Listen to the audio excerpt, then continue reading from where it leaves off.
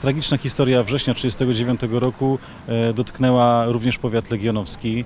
E, Kilkuset e, żołnierzy poległo w tym czasie na terenie naszych ziem.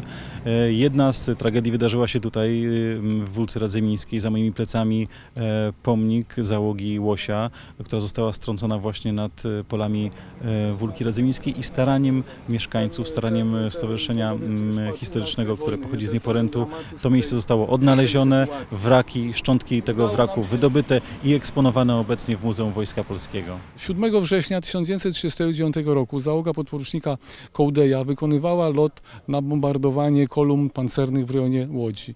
W rejonie Wólki Radzymińskiej niestety lotnicze szczęście odwróciło się od tej załogi i została zestrzelona przez niemiecką osłonę wyprawy bombowej.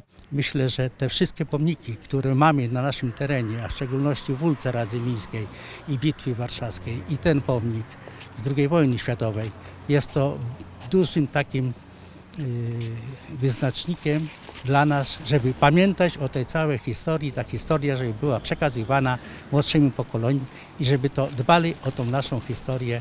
Wtedy będą nasze dzieci bardziej świadome tego, co się tutaj wydarzyło i co się działo.